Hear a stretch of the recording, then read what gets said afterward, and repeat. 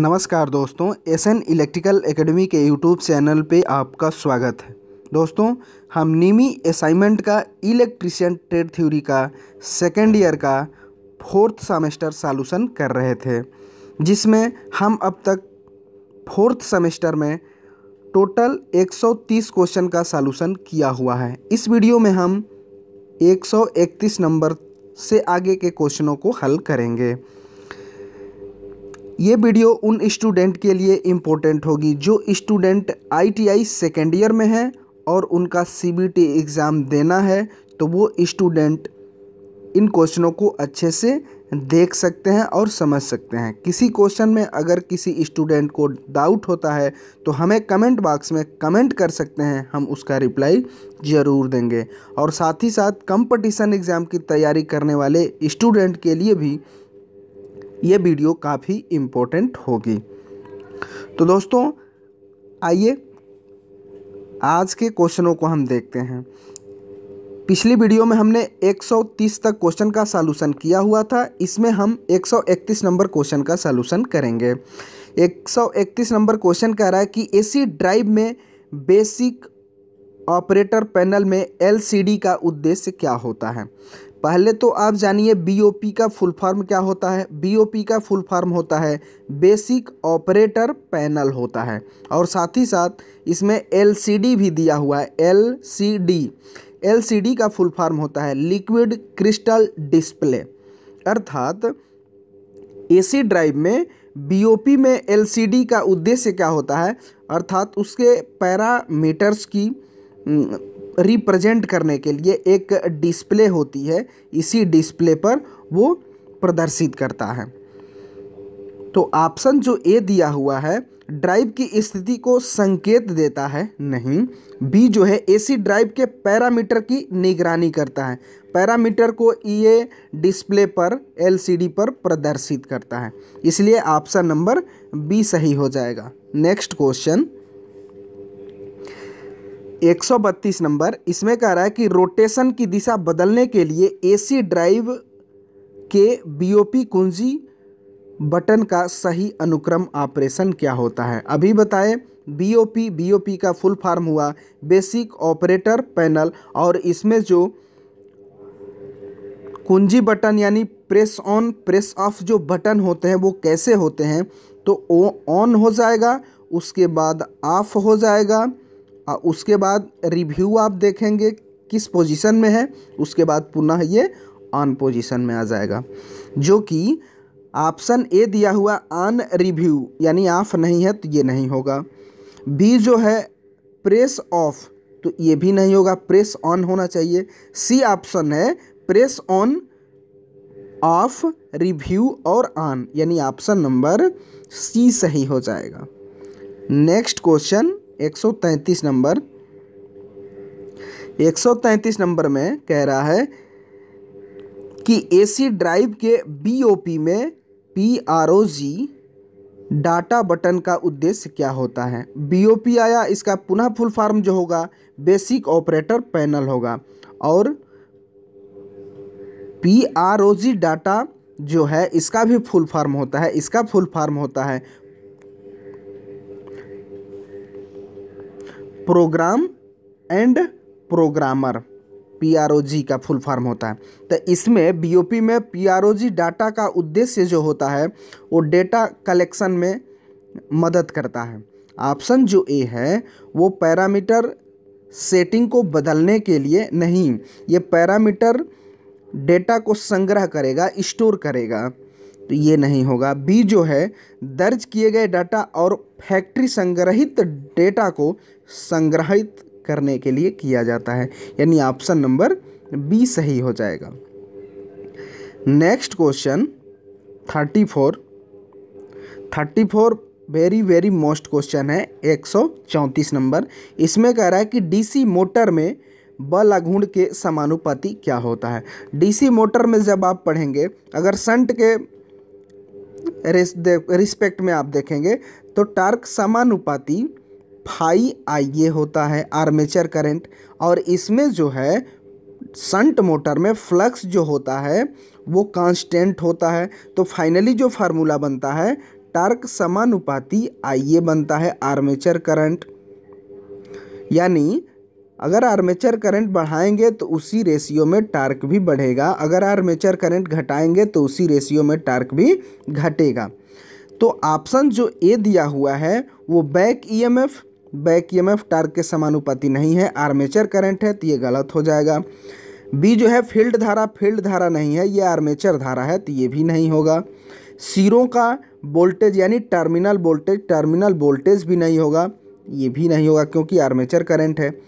D जो है armature current यानी ऑप्शन नंबर डी सही हो जाएगा armature current next question 135 number 135 number कह रहा है कि वी एफ़ ड्राइव में आईजीबीटी क्या है? वी एफ़ यानी फुल फॉर्म होगा वेरिएबल फ्रेक्वेंसी ड्राइव में आईजीबीटी यानी insulated gate bipolar transistor यानी वेरिएबल फ्रेक्वेंसी ड्राइव में IGBT insulated gate bipolar transistor का क्या होता है? तो ये एक इन्वर्टर स्विच डिवाइस की तरह कार्य करता है। इसका याद रखिएगा, full form V F drive का वी एफ़ ड्राइव का फुल फार्म हो जाएगा वेरिएबल फ्रेक्वेंसी ड्राइव में आईजीबीटी का जो होता है, वो इन्वर्टर स्विच की तरह काम करता है। ऑप्शन जो ए दिया हुआ है, वो इन्वर्टर स्विच डिवाइस है, यानी ऑप्शन नंबर डी सही हो जाएगा। नेक्स्ट क्वेश्चन 136 नंबर 136 नंबर में कह रहा है कि वी एस आई ड्राइव का कार्य क्या है? वी एस आई इसका पहले आप फुल फॉर्म देखिए। वी एस आई का फुल फॉर्म जो होता है वोल्टेज सोर्स इन्वर्टर होता है। वी एस आई का फुल फॉर्म क्या हुआ? वोल्टेज सोर्स इन्वर्टर हुआ। तो ये जो करेगा यानी वोल्टेज सोर्स इन्वर्टर हुआ, यानी ये जो होगा एसी का एसी में भी कन्वर्ट करेगा। ऑप्शन जो ए है एसी को डीसी में एसी को डीसी में रेक्टिफायर करता है, इसलिए ये नहीं होगा। बी जो है एसी को एसी में परिवर्तित करेगा, अर्थात कन्वर्ट्स एसी टू एसी इसलिए ऑप्शन नंबर बी सही हो जाएगा।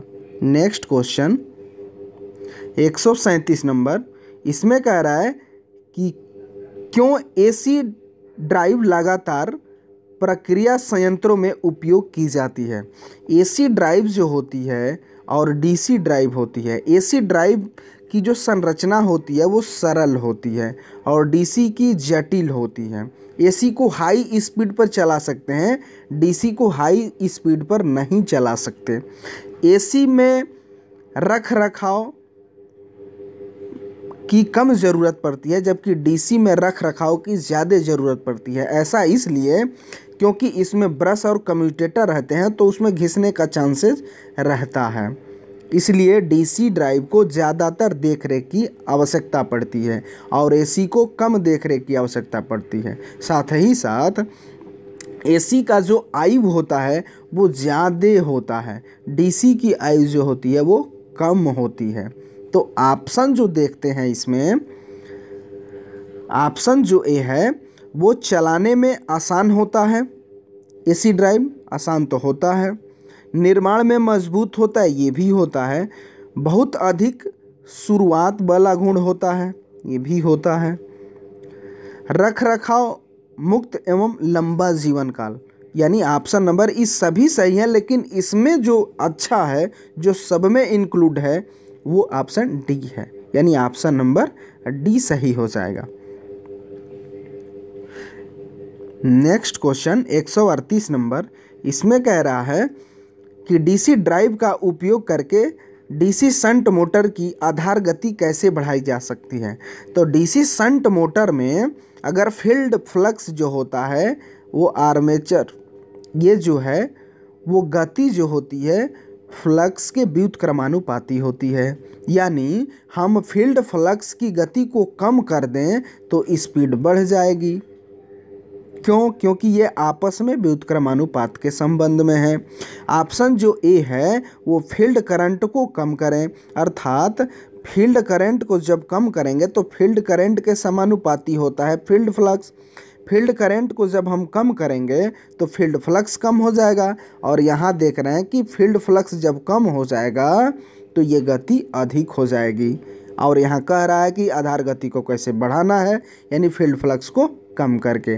और फ़ील्ड फ्लक्स ऑप्शन में नहीं दिया हुआ है तो क्या हो सकता है कि फ़ील्ड करंट को कम करके, जो कि यहाँ दिया हुआ है, इसलिए ऑप्शन जो ए है, फ़ील्ड करंट को कम करके, यानी ऑप्शन नंबर ए सही हो जाएगा। Next question.